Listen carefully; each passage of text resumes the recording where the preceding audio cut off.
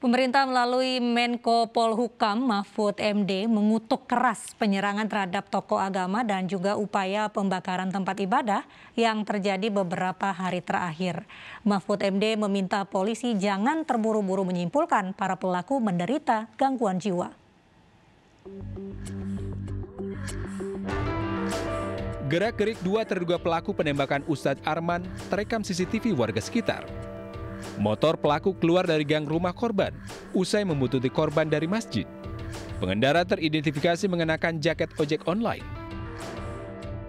Tak lama berselang, sepeda motor menjauh dari gang rumah korban, diikuti seseorang yang diduga eksekutor penembakan, berlari dengan kencang untuk melarikan diri. Sepekan penembakan berlalu, keluarga mendapat kabar jika pelaku sudah tertangkap.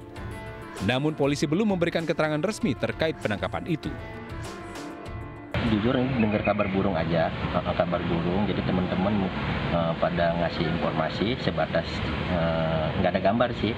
Nah, cuma omongan aja.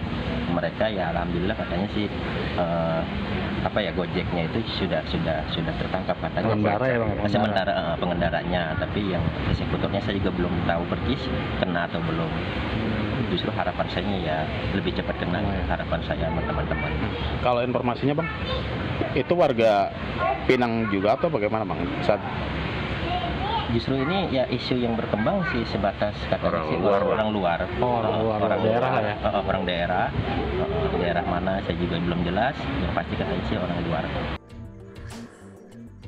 Di Makassar, Sulawesi Selatan, polisi menyatakan pelaku pembakar mimbar Masjid Raya Makassar di dalam pengaruh zat psikotropika saat beraksi. Motif pelaku membakar mimbar masjid adalah sakit hati kepada pengurus dan pengamanan masjid lantaran dilarang tidur di dalam masjid. Pelaku membakar mimbar masjid dengan menyulut api di sajadah yang sudah disiram bahan bakar yang diduga berupa minyak tanah. Selain mimbar, sejumlah Al-Quran yang tersimpan di mimbar juga terbakar. Pemerintah melalui Menko Polhukam Mahfud MD mengutuk keras rentetan peristiwa kekerasan dan pengerusakan yang berpotensi memancing konflik SARA ini. Mahfud MD meminta polisi jangan terburu-buru menyimpulkan para pelaku menderita gangguan jiwa. Pemeriksaan ini harus tuntas dan terbuka.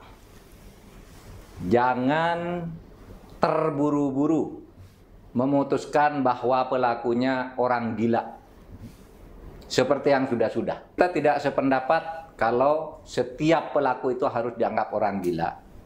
Biarlah orang-orang yang sudah ditangkap ini diproses, dibawa ke pengadilan. Kalau ada keraguan apakah yang bersangkutan sakit jiwa atau tidak, itu biar hakim yang memutuskan. Dibawa saja ke pengadilan agar terungkap kalau memang gila atau sakit jiwa pelakunya, biar pengadilan yang memutuskan. Menko Polhukam Mahfud MD juga meminta aparat keamanan memperketat penjagaan rumah ibadah dan tokoh agama agar peristiwa serupa tidak terulang lagi. Dari Tangerang, Banten, Hasnugara, dan Makassar, Sulawesi Selatan, Andi Dari Sunggu, Anyus melaporkan.